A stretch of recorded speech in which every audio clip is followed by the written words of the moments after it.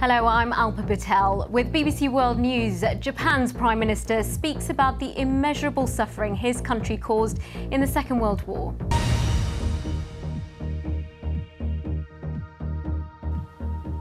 Japan's Prime Minister Shinzo Abe has made a much anticipated statement about the legacy of World War II for Japan and other countries. Well, with me is Dr. John Swenson Wright, head of the Asia programme at the Foreign Affairs think tank Chatham House. Also joining me is uh, Raymond Li, who's the editor of the BBC's Chinese service. Thank you both for joining me. John, to you first. Um, what did you make of this speech? Did he actually apologise? He didn't. Uh, government's future cabinets um, see this speech. What will the legacy be? Moment. Um, Prime Minister Abe also spoke about the suffering of the so-called comfort women during the war. Hundreds of women in China and Korea were forcibly recruited to serve Japanese soldiers in military brothels. Well, uh, joining me is Raymond Li from uh, the BBC's Chinese service. How will China be seeing this speech, um, the so-called comfort women, a real bone of contention so far in China on social media and so on? Um, how will this speech be seen in Japan, future generations, younger generations? Uh, how will they be, uh, you know, what will they make of this speech? Swenson Wright and Raymond Li, thank you very much. China is to launch a nationwide inspection of dangerous chemicals after two huge explosions ripped apart an industrial complex in the port city of Tianjin. Thousands of users across Chinese social media have been paying tribute to firefighters who lost their lives in the blaze.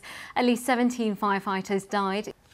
Officials in the United States are investigating reports that the so-called Islamic State group used chemical weapons, a chemical weapons expert, and he recently worked in Syria and Iraq. Thank you for coming in for us. How do we, what, what evidence is there that there's this alleged use of chemical weapons? Have these chemical weapons originated from?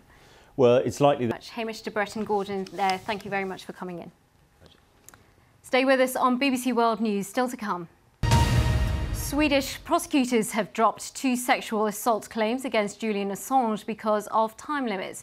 The WikiLeaks founder has always denied the accusations. He remains in the Ecuadorian embassy in London. He's been there since 2012 when he sought asylum to avoid being extradited to Sweden.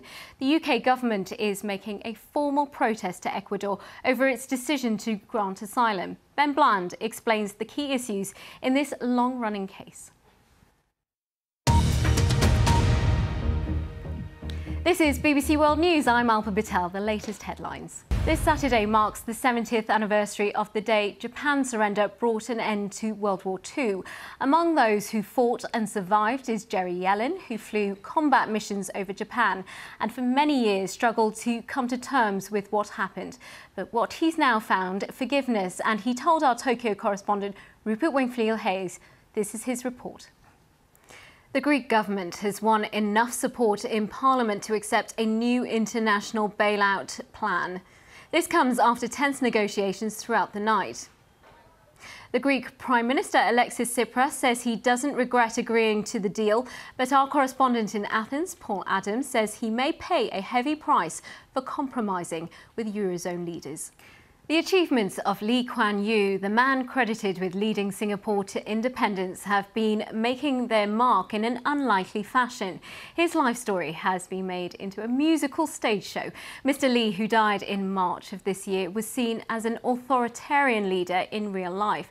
Sharon Leyl went to find out how his achievements were transferred into song.